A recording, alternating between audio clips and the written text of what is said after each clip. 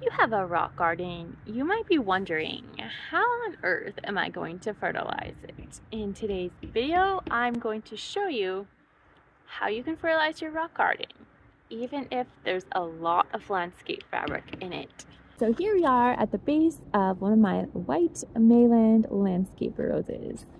I'm going to be giving this rose some potash. When this garden was constructed, we used a ton of landscaping fabric. I will just dig into the ground and show you. There is some right here. And basically everything, all the shrubs were planted by digging out a hole and sticking them into the desired location in the landscape fabric. I have a lot of flowers in this garden that are growing in the gravel, which is on top of the landscape fabric. And they grow just fine. And I fertilize them just the way I fertilize the shrubs.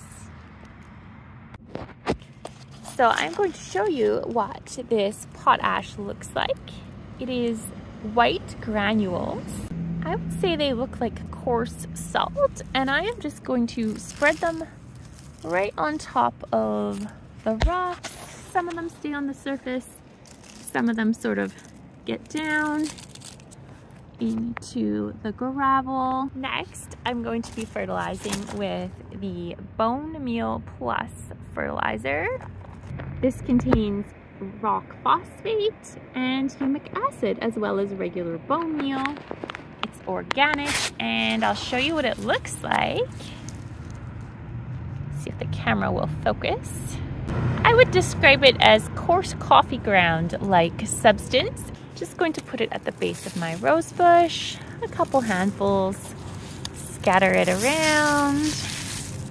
Next, I'm going to be fertilizing with a Gaia Green rock phosphate. This also promotes blooms. And this is what rock phosphate looks like if you've never seen it. And we are just going to scatter that around this rose bush.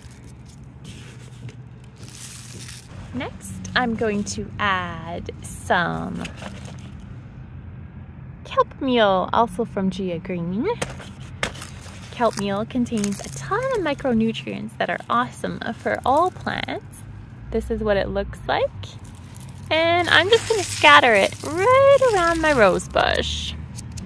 Next, I'm going to use Power Bloom, also from Gaia Green. This fertilizer is new to me, but definitely is supposed to promote flowering.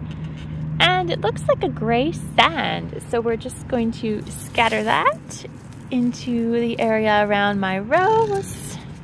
If I lived in a climate where there wasn't a lot of precipitation or rainfall, I would be watering these in.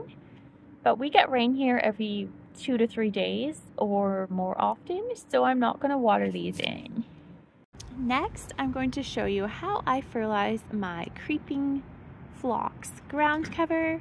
For this ground cover, all that I do is I take my fertilizer. I'm going to be giving these creeping phlox some power bloom and I just sprinkle it over top give it a light dusting. Some of it will blow away, but I'm not worried because it's just going to go into another plant in the rock garden. You can also lift up your plant and put it right at the base to get right in there. I'm gonna give this guy a little bit of kelp meal for the foliage. And we'll give it a little bit of rock phosphate, more blooms.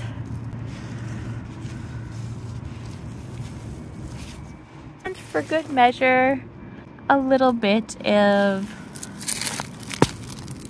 bone meal plus fertilizer. If you don't have access to this many fertilizers and you have a rock garden, I would recommend picking one to promote flowering, and that's probably your bone meal, and one to promote healthy foliage and just overall plant health. And that would be your kelp meal if you're able to find kelp meal in your area, or alternatively, seaweed extract is a great alternative. Those are both great options. I am using what I have available. I am lucky to have lots of fertilizers available here, but I know that's not the case everywhere. Next, I'm going to fertilize my Grace Ward plants. I have quite a few of these guys, and I'm going to give them a little bit of kelp meal and a little bit of Gaia Green Power Bloom. To fertilize Grace Ward, simply lift up the plant. You can see we're going right to the base of the plant. I'm going to use my foot to hold it down and I'm just going to spread some kelp meal and some power bloom under the plant and then we put it back down and you would never know it has been fertilized. Here we have my wallflower bush which is getting ready to bloom soon, perennial, and a spirea shrub. And for these guys, all I'm going to do is give them a little bit of the Gaia Green Power Bloom. And I'm simply just going to sprinkle it on my wallflower shrub and I'm just going to give it a wee bit of kelp meal going to sprinkle it around. And I'm also going to give it a little bit of power bloom. This is what it looks like. We're just going to sprinkle it around the shrub. Wallflower is actually growing completely in the landscape fabric. It was in a wildflower mix that I planted and it does just fine growing like that. It was never planted directly into the soil below. So it basically grows in rock and probably a little debris that leaves that have broken down over the years that have created little bits of soil, but it doesn't grow in the true native soil. So I fertilize it like everything else and it does just fine. Here we have a tiny little Euonymus shrub, a rescue from my parents' garden. All I'm going to do is give it kelp meal, something good for its foliage. And we are just going to sprinkle that around. And that's it. Very baby Patty's Purple Hebe shrub. And I'm going to give it Power Bloom a little bit of that. And also some kelp meal for the foliage. And let's give it a little dusting. I could wash those leaves off, but I probably won't. For pretty much the entire rock garden, I'm going to be going around and sprinkling my Bone Meal Plus fertilizer. I have hundreds, if not thousands of flowers that come up from seed every year in this garden, all different varieties, tons of wildflowers, and I just want a lot of color. So I give these plants and flowers lots of bone meal, sometimes regular bone meal, sometimes bone meal plus fertilizer, and I have a really colorful garden every season. I'm going to link a video or two of what this garden looks like at other times of the year so you have an idea. And I'm just going to go ahead and sprinkle out my Bone Meal Plus fertilizer.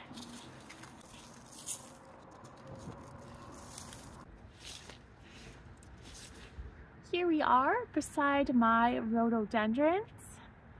And for these guys, I am simply wanting to promote flowers. They do not have any diseases. They never have, probably never will. So all I'm going to give them is the Power Bloom. I'm just going to take some and sprinkle it around the base of the plant.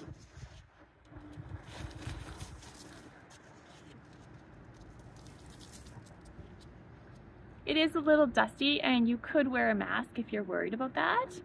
I probably should, but I'm not motivated to, so we'll skip that for now. And I'm also going to give these guys rock phosphate to promote blooming.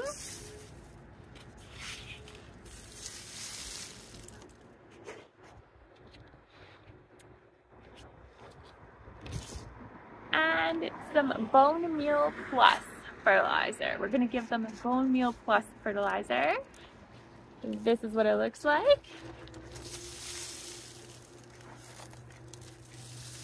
And hopefully we get lots of blooms this season. I'm going to show you how I mix up my reindeer's natural plant foods seaweed extract in a can of water this big. So first, this is what seaweed extract looks like. It is absolutely gorgeous. I want to call it black gold. It is so beautiful. I put a heaped tablespoon into my watering can. Ideally do this with a hose that is not leaking. So this is what my seaweed extract looks like. It has zero odor and is absolutely beautiful. I'm just watering in the Hebe fertilized. I'm watering in my Hebe that we fertilized today. Thank you so much for watching my little fertilizing a rock garden tutorial. I hope you're having a lovely day wherever you are and we will see you very soon in another video. Bye for now.